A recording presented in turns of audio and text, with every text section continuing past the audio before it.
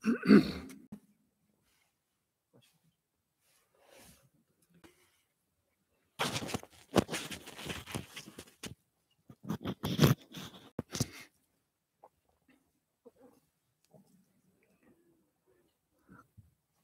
بالله من الشيطان الرجيم. بسم الله الرحمن الرحيم.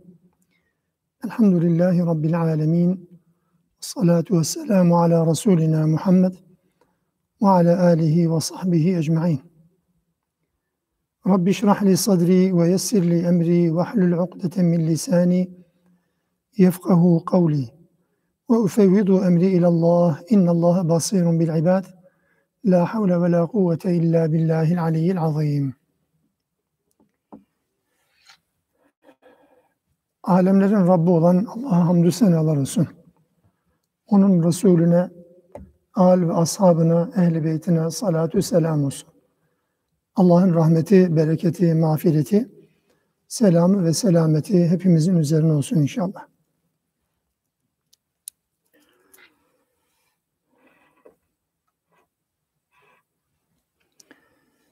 Bugünkü dersimizde Hucurat Suresinin 11 ve 12. ayetlerini yetiştirirsek inşallah anlamaya çalışacağız.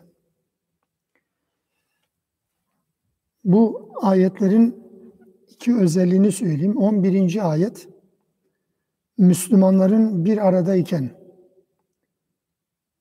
zaaflarını anlatan ve uyaran ayettir.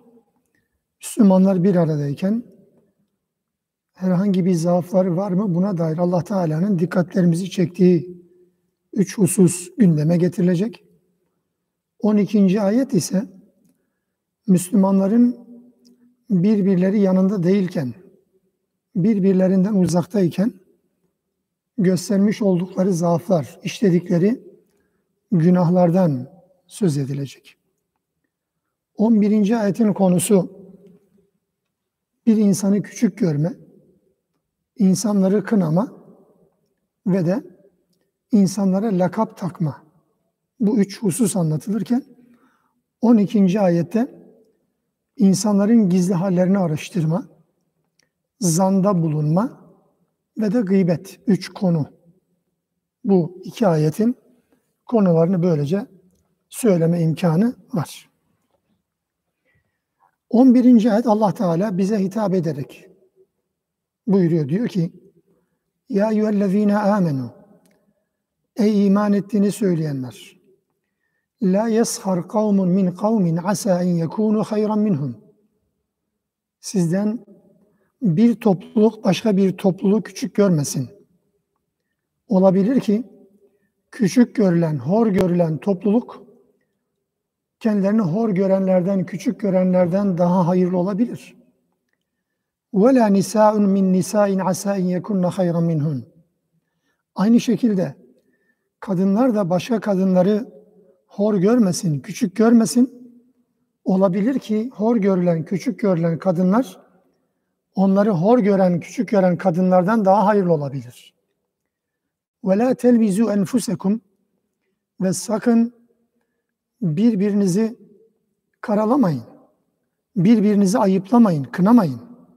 Ve la tenabezu bil ve birbirinizi lakaplarla çağırmayın Bi selismul fusuku ba'del iman. İmandan sonra fasıklık, imanla birlikte fasıklık ne kötü bir şeydir. Ve men lem yetub kim tevbe etmez, fasıklığı devam ettirirse fe ulaike humuz zalimun onlar zalimlerin ta kendileridirler. Bu üç konuya geçmeden yani küçük görme, hor görme konusu, insanları kınama, ayıplama konusu ve insanlar lakap takma bu üç hareketin çirkinliği ile alakalı birkaç izaha geçmeden önce ayet-i kerimede çok önemli bir incelik var onu ifade edeyim. Normalde Kur'an-ı Kerim bir ifadeyi en kısa şekilde anlatır. Uzatmadan anlatır.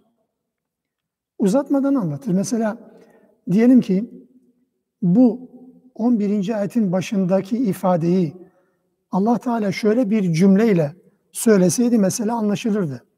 İnsanlardan hiç kimse diğer kimseyi küçük görmesin. Cümle bu. İnsanlar dediğimiz zaman kadın da erkek de dahil olur. Küçük görmesin derdi. İnsanlar insanları küçük görmesin. Ama cümle böyle değil. Cümle nasıl? Uzatılmış bir cümledir. Erkekler erkekleri küçük görmesin, hor görmesin.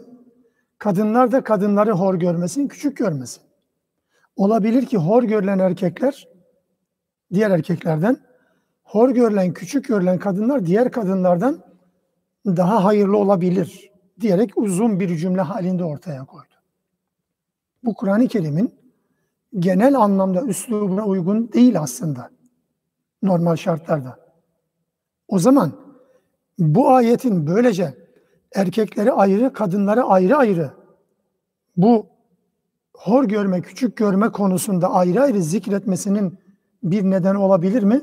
Var tabii ki. Anlaşılan o. Yoksa Allah Teala derdi ki insanlar insanları küçük görmesin, mesele biterdi. Neden peki böyle? Özellikle kadınların ayrıca zikredilmesinin nedeni erkeklerden farklı olarak yani iki şekilde izah edilebilir. Birincisi, birincisi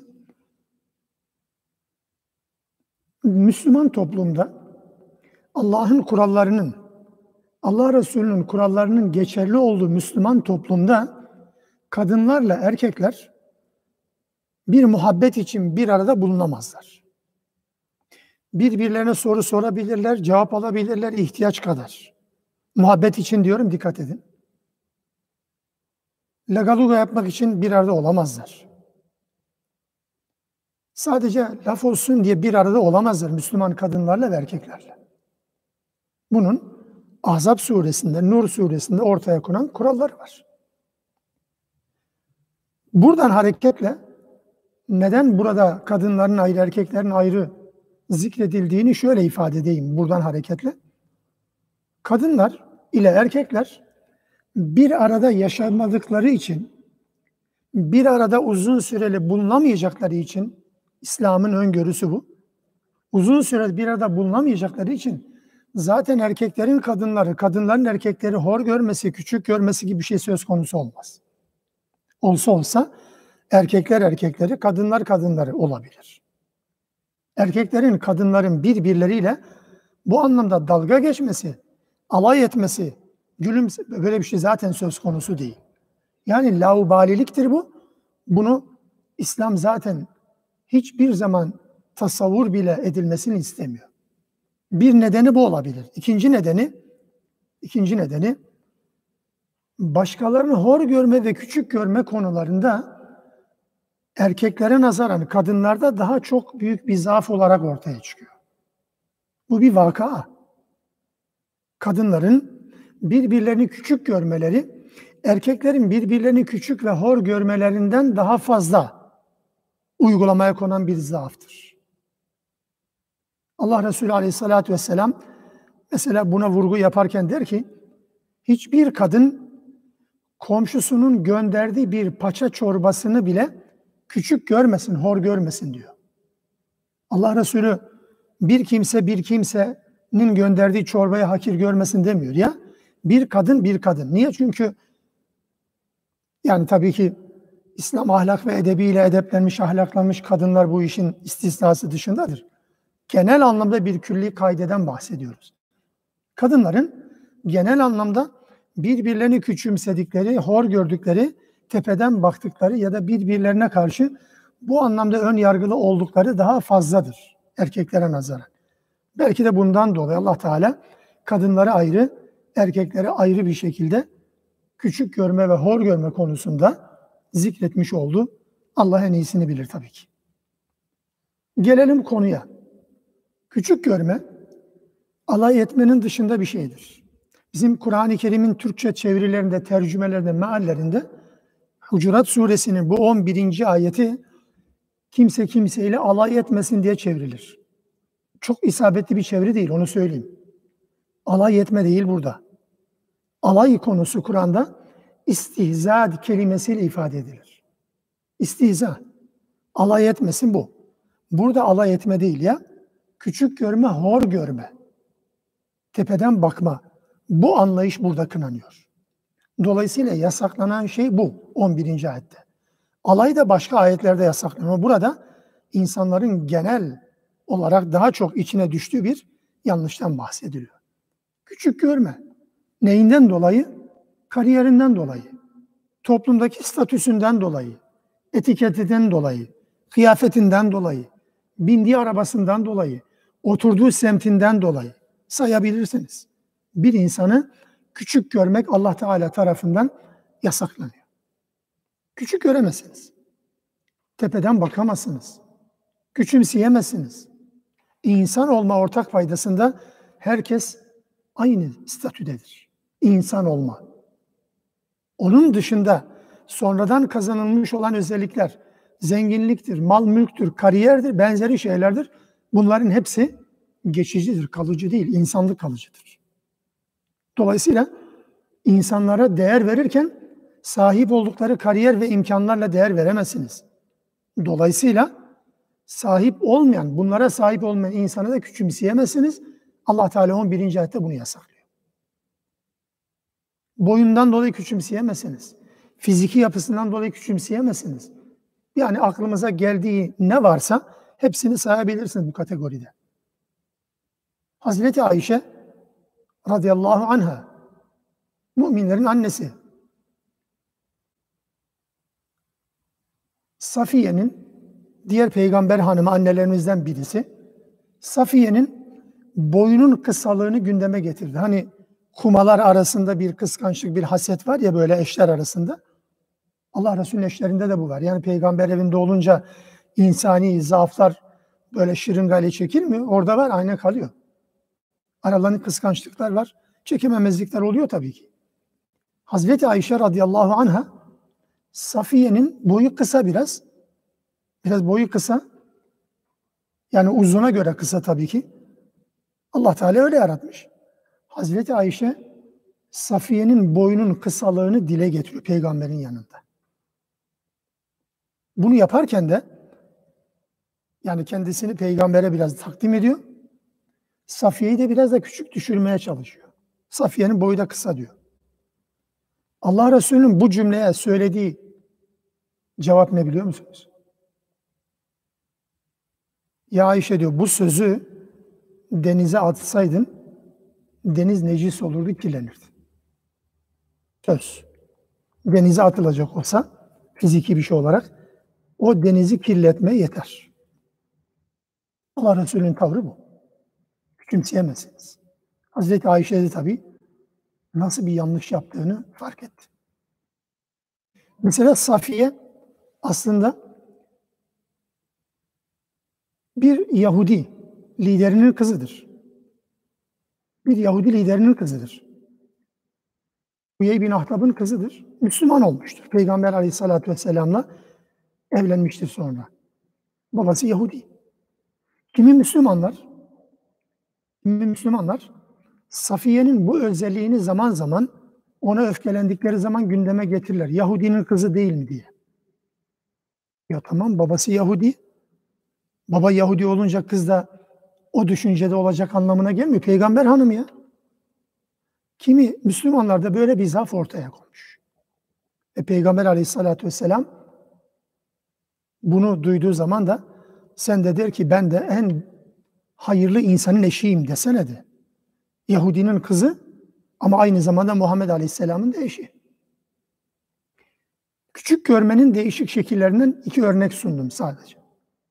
Bundan dolayı bakın bir kimse toplum içerisinde değer atfedilen özelliklere göre bir insanı değerli ve değersiz tasnif edemez. Toplumun kendi değer ölçülerine göre olamaz mı? Dini ve manevi değerlere göre Allah'ın nezdinde Allah Teala katında çok daha değerli bir insan olabilir senin küçümsediğin insan. Toplumda baş tacı edilebilir parası için. Cebinin ve omuzunun kalabalıklığından dolayı baş tacı edilebilir. İsminin öndeki etiketlerden dolayı baş tacı edilebilir. Ama Allah'ın yanında bunun hiçbir değeri olmayabilir. Allah'ın yanında değeri olan bir insanı küçümseyemezsiniz. Hiçbir şey yoktur. Boynu büküktür. Garibandır. Ama Allah katında o toplumun içerisinde onun gibisi belki yoktur Allah katında. Fakat insanlar modern dönemde özellikle maalesef modern dönemde insanlar bindikleri arabayla değerlendiriliyor. Giydikleri kıyafetle değerlendiriliyor. Sahip olduğu titrilerle, kariyerlerle değerlendiriliyor vesaire vesaire. Bu Allah'ın hukuku değildir. Bu Allah'ın baktığı yerden bakmak anlamına gelmiyor. Onun için insanların nasıl değerlendirdiği değil, Allah'ın nasıl değerlendirdiği önemlidir ve insanlar bu anlamda küçümseyemezsiniz. Kimseyle bu anlamda alay edemezsiniz. Birisinin gördüğü bir ayıbı, bir işlediği bir kusuru dile getirip onu kınamayın. Kınadığınız şey başınıza gelmeden ölmezsiniz bunu bilin. Bu bir kuraldır. Yaptığı yanlışı hatırlatırsınız ayrı bir konu. Olur olmaz her yerde gündeme getirip insanların yaptığı yanlışı kınanacak davranışlarda ikide bir gündeme getirmeye çalışmayın. Aynısı başınıza gelebilir. Abdullah bin Mesud, Allah Resulü'nün Kur'an'ı zaman zaman kendisinden dinlediği sahabi. Kur'an konusunda uzman sahabiler bir tanesi. İbn Mesud diyor ki, bir köpekle alay etsem diyor, affedersiniz bir köpekle alay etsem, köpek olmaktan korkarım diyor. Köpek ya. Müslümanların dikkat etmesi gereken bir şey bu. Tabiun alimlerinden birisi, sahabenin öğrencilerinden yani, Amr bin Şurahbil diyor ki, bir adamı keçiyi emerken görsem, keçiyi emerken görsem, ya bir insan keçi emerek olur mu? Yani öyle olabilir yani. Bir faraziye söylüyor. Bir insanı, bir adamı keçi emerken görsem de gülsem, keçi emdiğini görsem de gülsem, onun yaptığı şeyi yapma durumuna düşmekten korkarım diyor. Aynı şeyi yaşamaktan korkarım diyor.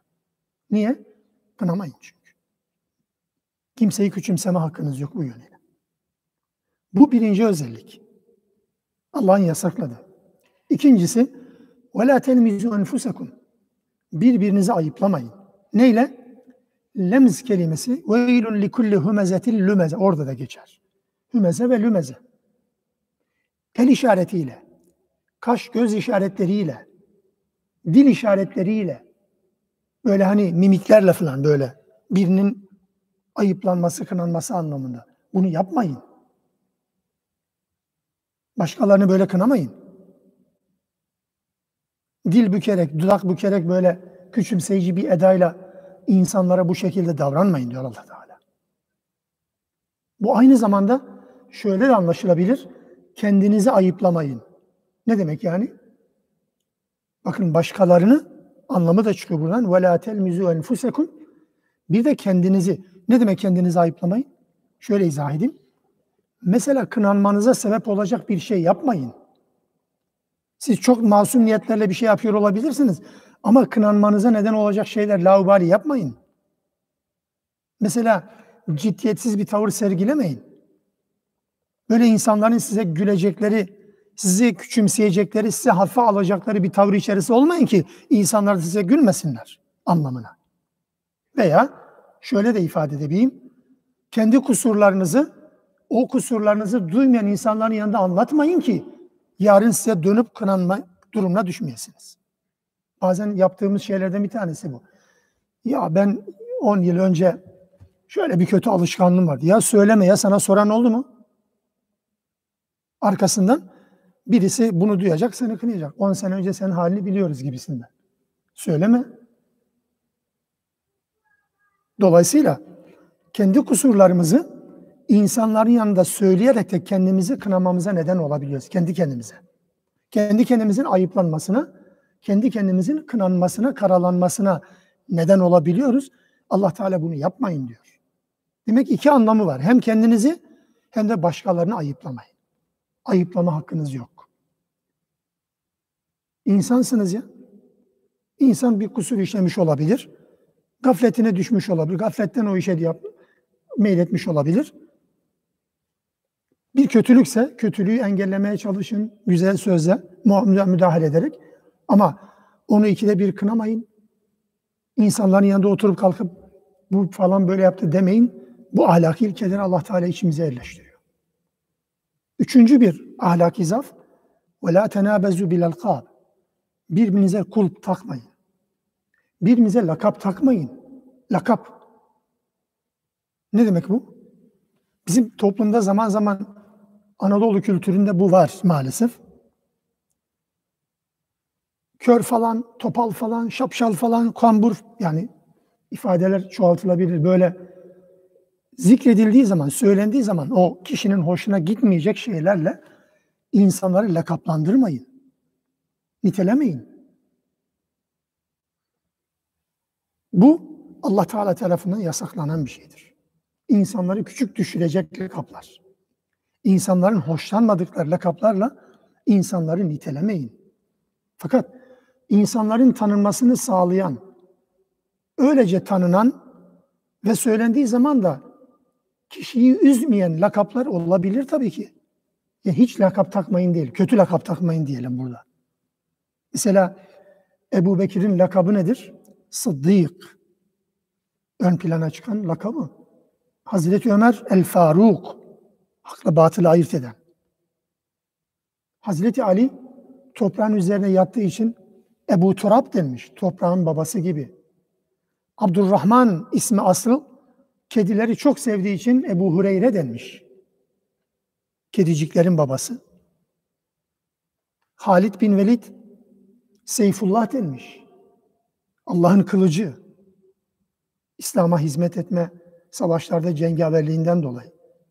Hazreti Hamza Esedullah denmiş. Allah'ın aslanı gibi. Bunlar güzel lakaplar anladım. Fakat öbür türlüsü bazen bizim toplumda doğrusu telaffuz etmekten de kaçınmak lazım.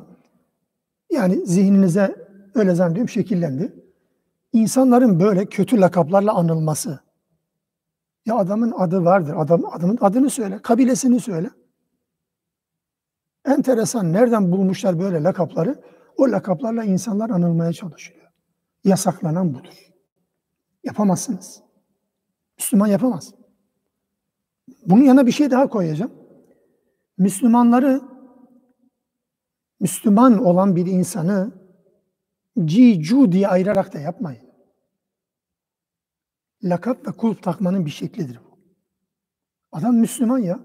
Müslüman olduktan sonra yerine başka bir etikete gerek var mı?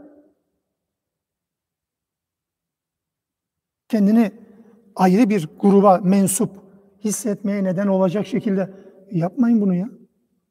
Bizim hastalığımız, zaafımız özellikle Türkiye Müslümanları. Müslüman.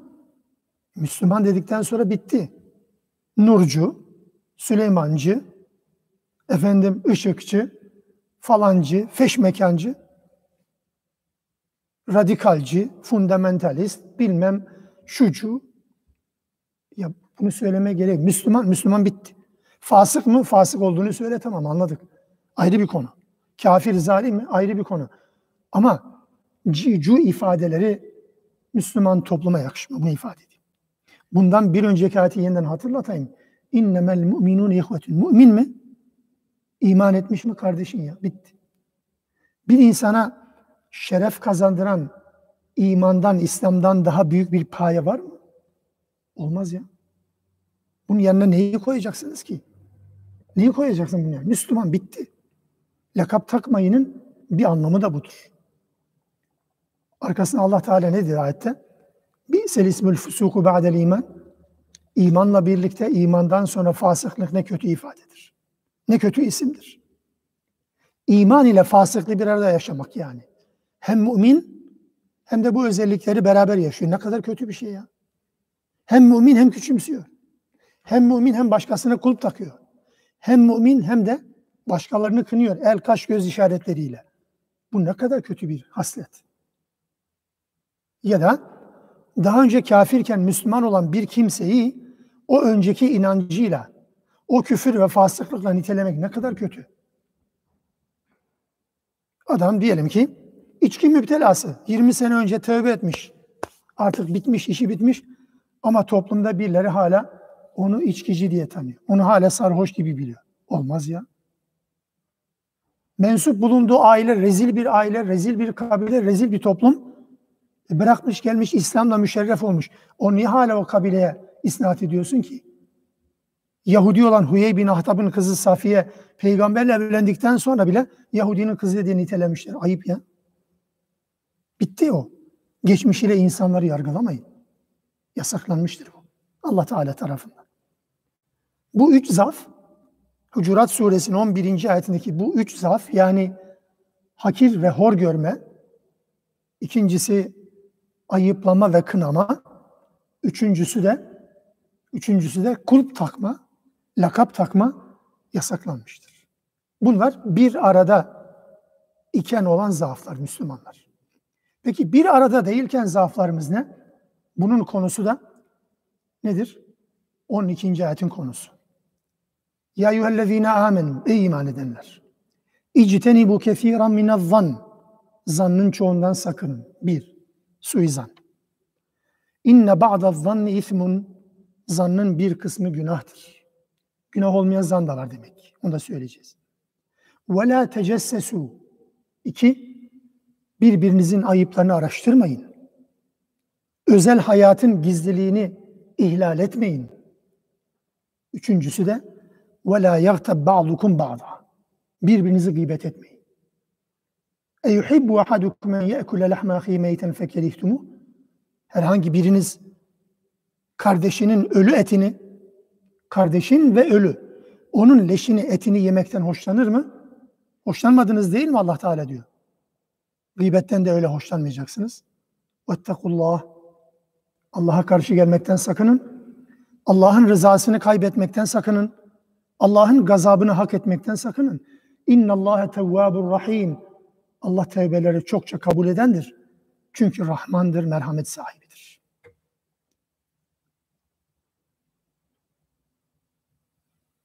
Evet, birinci hata nedir? Zan. Suizan. Zan konuşmak değildir kardeşler. Zan düşüncedir. Zihinden geçirmektir. Konuştuğunuz zaman birisiyle alakalı konuştuğunuz zaman ya yalan olur ya iftira olur ya gıybet olur. Bundan bahsetmiyoruz. Zan düşünmektir, tasarlamaktır, zihinden geçirmektir. Ve bu yasaklanmıştır. Zihinlerinize sahip olun. Ortada suç yokken birisiyle alakalı suç işleyeceğine dair tasavvurda bulunmayın demektir. Birisi yolda yürüyor, Birisi bir tarafa doğru gidiyor. Birisi birisiyle yürüyor. Zihninizden geçiriyorsun. Beraber yürüdü. Acaba kimdir falan. Ya sana ne? Düşünme.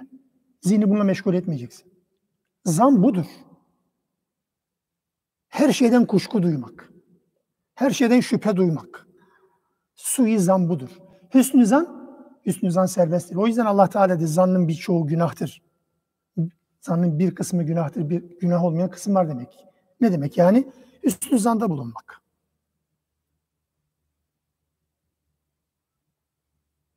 Yani birisi bir yere gitti. Bir yerden geçiyor, bir çarşıdan geçiyor. Aslında oradan geçmesini yakıştıramadınız adama. O gittiği yer, gittiği yer ya da işte sokağından kaldırımdan geçtiği yer aslında yakıştıramadığınız bir yer o adama.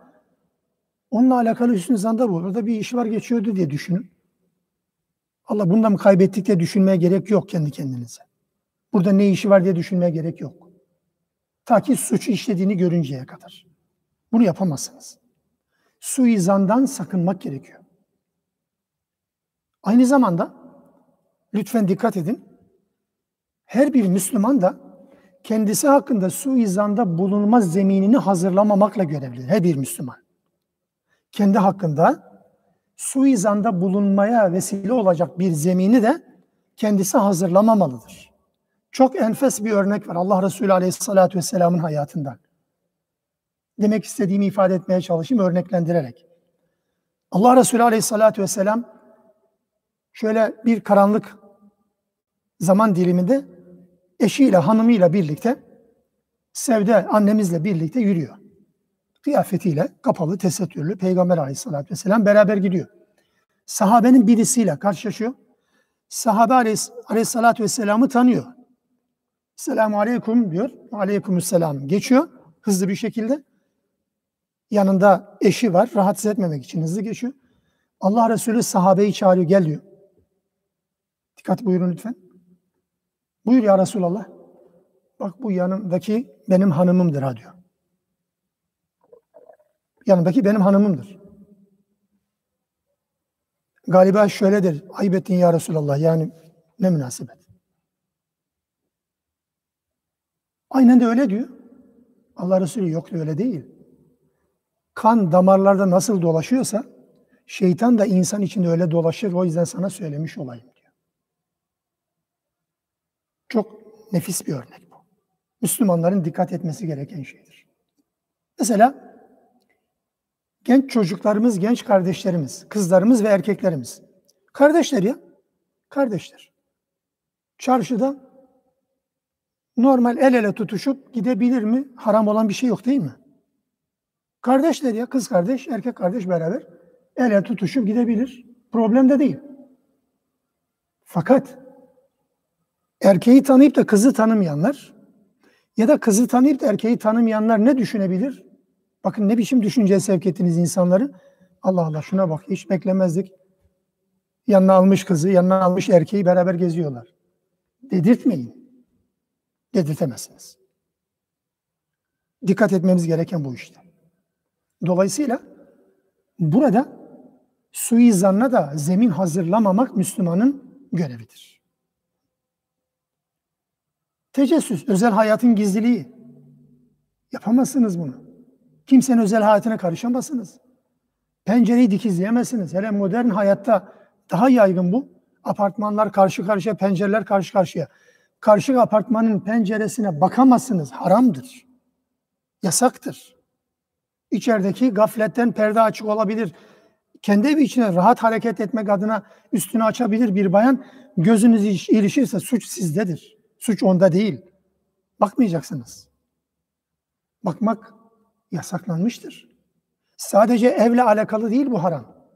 Yasaklar sadece evle alakalı değil. Cep telefonu, mail hesapları, sosyal medya hesapları şifreli mi? Şifreli ne demektir? Kitli demektir. Bunu deşifre etmek, hesaplara girmek, insanların maillerini, mesajlarını okumaya çalışmak özel hayatın gizliliğinin ihlaldir. Ve la tecessesu kapsamına girer. Ayıpları araştırmayın. Seni ilgilendirmez. Toplu taşımalarda giderken öğrenci kardeşlerinize zaman zaman rastladığımız özelliklerdir. Birine bir telefon geliyor, mesaj geliyor. Kim mesaj telefonu kendine tutuyor. Yukarıda ayakta duran da aşağıdaki telefona senin ne işin var ya? Niye böyle gözünü kapatıyorsun, bakıyorsun aşağıdaki mesajı? Ahlak olmayınca bu oluyor. Yasak. İlgilendiren bir şey değil. Ya da bir sohbet ortamda otururken yanı başındakine bir telefon mesajı geldi. Yanındaki de şöyle göz ucuyla bakıyor. Vela tecessüsü kapsamındadır bu. Sadece evle alakalı değil. Özel hayatın gizli ihlal etmeyin. Ve la. Ayıptır. Bunlar yasaklanmıştır. Rabbimiz Teala tarafından yasaklanmıştır. Üçüncü bir hata nedir burada? Üçüncü bir hata, yanlış. 12. ayetin konusu gıybet. Gıybetle alakalı ben şu kadarını söyleyeyim. Allah affetsin hepimizi.